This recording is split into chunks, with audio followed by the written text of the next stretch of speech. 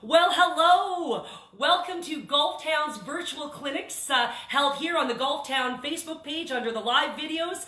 My name is Lisa Vlooswyk, nicknamed Lisa Longball. I will be your host for the clinics. These clinics are run every Tuesday, Thursday, and Saturday. We just had our first clinic on Tuesday where we covered warm up and grip. I was absolutely thrilled with all the people that shared how much they're enjoying the tips, how helpful they are, all the way from Newfoundland to Victoria, British Columbia. So thanks so much for your feedback. I'm thrilled you're loving the tips. And these tips are for everyone. They're for, for beginner golfers, all the way to single digit handicaps, for men, women, juniors. I guarantee I can share tips through these clinics that will help all of you hit the golf ball longer, straighter, and better. And that's our goal. So we're all at home. We all want to, we're missing the golf season. So these are wonderful ways to catch up. So if you missed the first clinic, you can definitely uh, go onto the Golf Town Facebook page. After each video, they'll be posted there and they'll be living there. So if you missed it, please go watch it. But let's start with number two. Today, we're going to do talk about posture and ball position. Two very important things to help us get ready for uh, the golf season. And I see Marianne has joined us from Kitchener. Thanks so much, Marianne. Wonderful. Uh, welcome, welcome. So let's talk about a posture.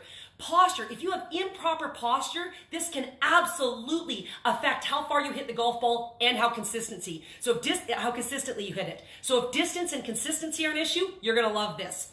There's a four step process to posture, and the four step process to posture should be number one, we have to start with our posture nice and straight and tall. What happens is, I see a lot of golfers, uh, and, um, um, and I, I, see usually our men, men tend, tend to have a little bit of a hunchy back, or people who work at desk jobs. What happens is we get used to uh, typing on the computer or even sitting on the couch like that, so this feels more comfortable for us versus this. Well, our key in posture is we want to create a, a, flat, straight spine. When we have a straight spine, we can turn around our back. The more you can create turn, and we will talk about this as we go through our clinics, the key to distance is coil and torque. You need to create turn. When you have a slouched back, it limits your turn. When your back is nice and straight and flat, look how you can turn around your spine. So this is absolutely huge. So step number one in our four-step process to posture is you've got to stand up nice and tall. So that's step number one, stand up nice and tall. Step number two, we need to bow at the waist and the butt needs to st stick out. This is where my women struggle. My women tend to tuck their bums in. Somewhere along the way, a lot of women have been told, oh yeah, you want to pretend you're sitting on a chair. Terrible advice. You do not want to do that. Because what's going to happen is when we tuck our bum in, and, and, and, and, women do that, now their chest is up here, so they really struggle with uh, contacting the golf ball. And that's going to be tomorrow's lesson, so we'll talk about that. But it's so important. Step number one, stand up nice and tall, shoulders back. Step number two, bow at the waist, butt has got to stick out. Butt sticks out.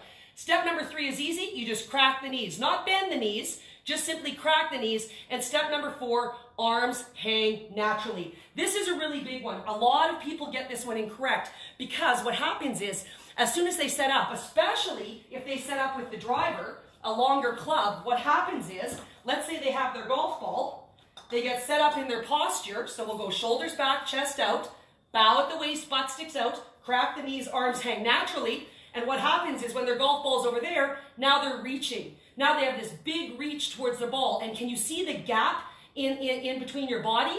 When you have arms hang naturally, what's going to happen is you should have about a fist width of difference or distance between the butt end of the club and your body. And it should be the same for every club. Whether it's your iron, shoulders back, chest out, bow at the waist, butt sticks out, crack the knees, arms hang naturally. Whether it's your iron or whether it's your driver, it's all going to be about a fist width from your body. As soon as we start reaching for our golf ball, and especially we tend to do this with our longer clubs, especially driver, look at the gap. And what happens is, when you come through your golf swing, your body is always trying to find neutral. So when you're coming from your golf swing, your body wants to find this. But if you're already stretched out over here, it's going to lead to wild inconsistencies if you aren't set up properly. If you can set up in neutral, you have a much greater chance of finding neutral when you get to the ball, which means more consistent contact. So again, the key when we're making our posture is we want to stand up nice and tall, shoulders back, chest out, bow at the waist, butt sticks out, crack the knees, arms hang naturally. And if this is not what your posture looks like, you should be doing this every single time you set up to the golf ball. So when it's finally time to get out to our season and we get out there, this is something that I want you to do. And this is a perfect thing to practice while we're all staying at home. This is something you can practice in your living room, in your basement. You don't even need to make a swing. I want you to have a golf club if you can, but shoulders back, chest out, bow the waist, butt sticks out, crack the knees, arms hang naturally. Okay, the next thing I get asked, oh, and I'm just saying, hey, I see Ellen and Jan, Kathy, Sue, Helen from Toronto. Thanks everyone for joining us. We sure appreciate it. All right, the next thing we need to talk about, and for all of our male viewers, I apologize, I apologize, but we need to talk to this about this for my female students, and that is, what do we do with the girls? Do we put our arms above the girls, below the girls? Where do our arms go? And I get asked this all the time. And so here's the deal. When we think about where to put our arms, this comes into our posture. We want to think arms hang naturally, okay? But what happens is women tend to be arms lifters. So what, what, women are a little bit more flexible typically than their male counterparts. So what happens is they typically lift their arms versus turn. And that feels really comfortable for them. So when it's time to, to decide where do we put the, put the arms, this is what I've honestly seen. I've seen people go, oh yeah, yeah, it's above the girls. It's above the girls. Well, holy cow, look at my shoulders. They're stuffed up against my chin. And I may be a B cup C with Victoria's Secret's help. So come on, it's definitely not above the girls. Well, I've heard it's below the girls. Well, that's just a push-up bra commercial. I've heard squeeze them together, squeeze them together. Oh my goodness, that creates tension. That's the last thing you want in your golf swing. And I've honestly heard, oh, oh, you could go one on top, one underneath. Ladies, as we know, that's a mammogram. We don't need that. We don't need that. So again, where do the, where do the arms go? Well, what the arms do is the arms simply, as we go through our process, hang naturally. But what happens and why women complain about running into the girls when they make their golf swing is because girls tend to be arms lifters. But here's the magic. Here's the magic. Are you ready for this? If you turn, if you start your backswing, if you start your backswing uh, with your shoulder versus your hands or your, your, your hands or your arms, which we talked about in our first clinic, if you start with your shoulder, here we go, watch the magic. Look, look, the girls come with you. The girls come with you. The girls come with you. If you're an arms lifter, you're going to bump into those bad boys every time. So again, when you're going through your posture, it's simply arms hang naturally. If you're a double D or bigger, maybe slightly underneath, but other than that, if you turn, the girls will go with you. So I, if all of you can start working on that four-step pro process to posture, I guarantee it's going to add distance to your game and more consistency. So you're going to love that. Last time we'll review it. It's stand up nice and tall, shoulders back, chest out. Bow at the waist, butt sticks out.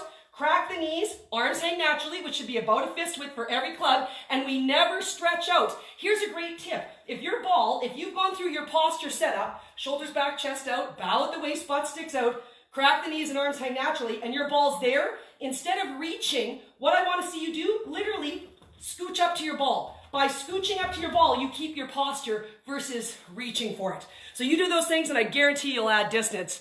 Pat, Enlightenment! Pat had some enlightenment. I love it. And Donna from Kamloops. That's fantastic. Guy, hey, thanks for joining in. And uh, uh, uh, that's awesome. I see Amphi has joined us. Wonderful. And Jordan. So thanks very much, everyone, for joining.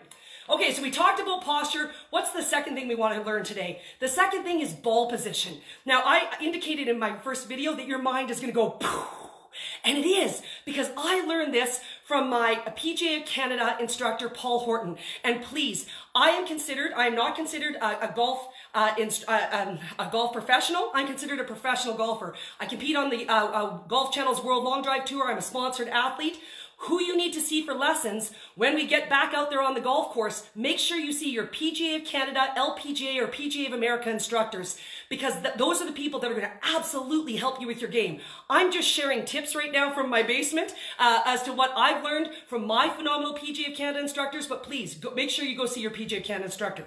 So this is what Paul Horton taught me. And Paul Horton won the PGA of Canada uh, Coach of the Year in 2017. This was absolutely enlightening to me. I've always struggled a little bit with my irons and with my contact with my irons. So this has really helped me. Now, when I was growing up and I first learned how the ball position, and let me for, let me say, believe me, there's many ways to skin a cat. You do not need, this is not the be all end all, but I'm just showing you this. If it happens to help your game, fantastic. So first of all, I, I was taught you put the, uh, the, the ball in the middle of your stance for kind of pitching wedge and then nine iron, eight iron slightly forward, seven slightly forward of that, six slightly forward, five slightly forward, you know, a hybrid fairway and then driver, that was non-negotiable. That's on the instep of the lead foot. So that's what I was taught. And I struggled a little bit with that ironing consistency. Just giving a shout out, hey, to Cami, Cindy, Karen. Thanks everyone so much for joining. Appreciate that. So for me, that's how I learned, but was struggling with my irons. What Paul Horton taught me is he said, okay, Lisa, let's think about the golf swing. What happens is when you make your golf swing and when you make contact with the ball, you always want to, your club should be coming down. It should be hitting ball first contact. It should compress the ball, squish the ball into the grass, and then your divot comes from there. So if you ever have your divot behind your ball, you know you're, you're already having trouble with making that. So here's a great swing thought. You want to think of trapping the ball, uh, compressing the ball, and trapping, compressing, hit down on it. That's how we want to hit our proper uh, golf shots, especially with those irons. So you want to hit down, trap, compress the golf ball. Okay? So here's the thing. So if we want to properly hit ball first contact, what Paul taught me is this. He said, Lisa, your lead shoulder, so the shoulder closest to the fairway, uh, where your shoulder joint is, that's the bottom of your swing. That is the, the bottom point of your swing is at your lead shoulder. So if you always want to have ball first contact, why wouldn't you just place the ball about the width of a ball behind your shoulder joint? So for my right-handed golfers, that would be above your heart or usually the logo of your golf shirt. And for my lefties, it's going to be in the middle of your pectoral muscle on, on uh, uh, your right-hand side. So basically, what he has taught me is this process, and I'm a huge fan of process, especially if you struggle with consistency on the golf course. So a pre-shot routine, which we'll discuss in one of our future lessons as well. So this is what I do to make sure the ball is always set up uh, about the ball, a ball width behind my shoulder joint, which is the lowest part of my swing. That's where I want the ball to, uh, to be uh, fully compressed down in the grass and then our divot comes from there. So what I do is I always stand, I eyeball my ball, and actually I'll use an alignment rod Alignment rods are fantastic. If you don't have one in your bag, these are awesome. You can actually buy them on uh, Golf Towns. Uh, Golf Town Online is still open. The stores are closed right now, but they're uh, retailing for $15 uh, on $15.99 right now on Golf Town. So what I do with my alignment rod, these are great to practice with. I stand with my, uh, my ball, I eyeball my ball into the middle of my feet. I simply move my lead foot, so my foot closest to the fairway, about the width of a club head. So I'm going to move it about the width of a club head about that ball, and then I'm going to move my back foot to comfort. So if I have a pitching wedge, my, my, it's a shorter golf club, so my back foot's going to be in a little bit more. So it almost looks like it's the middle of my stance. And if I have a five iron, my back foot's going to be back farther. But it's always the same distance from your lead foot. When I changed this, this absolutely made a massive difference to, to my iron striking. So again, here's the process. You're going to put the ball uh, in between the middle of your feet, kind of eyeball it between the middle. Move your lead foot about the width of a club head uh, uh, towards, uh, towards the fairway, about a width of a club head. You're going to move your back foot to comfort, and then you just, you're setting up in your posture. So that's the ball position. Now that's the ball position for every single club in your bag except driver. Driver is absolutely non-negotiable. It has to be off the instep of your lead foot. So let me give you a process for that. So here's your process to make sure that your driver is in the right position. So what I simply do, I go feet together. I've got the ball in the middle of my feet, feet together, and I simply move my back foot. Then I know the ball is off the instep of my lead foot all the time. What I tend to see, I tend to see golfers out there and they have this great pre-shot routine, this great swing. So I see them come from behind their ball, they come up, they come up to their golf ball, and when they set up like this, the ball's almost in the middle of their stance. You're losing 20 plus yards by having the ball way back in your stance. By having the ball, especially for driver, it's got to be off the instep of the lead foot. I guarantee instantly you can add distance to your game. So if your ball position for driver isn't there, that's what you need to do. So again, for driver, it's simply feet together and uh, eyeball the ball in the middle of the feet, simply move your back foot. And I'm telling you, that's going to add tremendous distance to all of your games. So I, I see Mike has joined us. I said, good morning. Thanks, Mike. Thanks for watching. Oh, Manon. Uh, allô, bonjour. Comment ça va? it sounds like you're joining us from Quebec, so that's fantastic. And Sandy, thanks very much.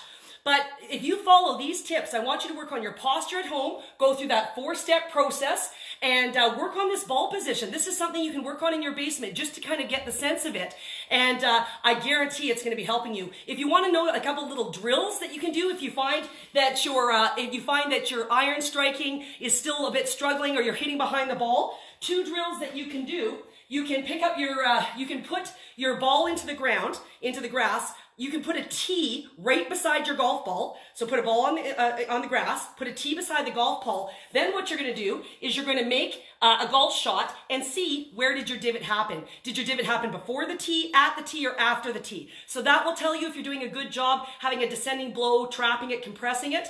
Another great drill if you're struggling, struggling with your irons, you can put the ball on the grass, you put a tee about an inch and a half uh, in front of the golf ball, uh, and it's got maybe just the head of the tee up above the grass. What you're gonna do is you're gonna make a shot with your golf club. You're gonna make a shot with your golf club. If you have a descending blow, if you're hitting down on it, trapping it, compressing it, you'll brush the grass and you're going to uh, knock that tee out of the ground. So those are two little drills that you can do once we, we get back outside and we can start playing again. But Work on that posture, work on that ball position, and I guarantee you are going to be hitting longer, more consistent shots. So on Saturday, we've got our next clinic on Saturday. On Saturday, we are going to cover uh, more iron contact. So we're going to talk about more contact with the irons and how we can hit better golf shots with our irons. So hopefully you can join us on Saturday. But again, if you uh, can't join us Saturday, uh, as soon as the broadcast is over, it'll be posted to the Golf Town Facebook page in which you can watch it anytime. So I just want to give a shout out. I see Kay. Uh, oh, I mentioned it. Kay, I mentioned the LPGA instructors earlier in my broadcast. So that's awesome. And Harry, so, so thrilled that you're enjoying it. Suzanne, thanks for coming. And I, I have another Suzanne from Ottawa. So that's wonderful. So thanks everyone for joining. I look forward to seeing you Saturday. And hopefully these tips will help you start your season off running. So thanks very much. It's Lisa Longball signing out.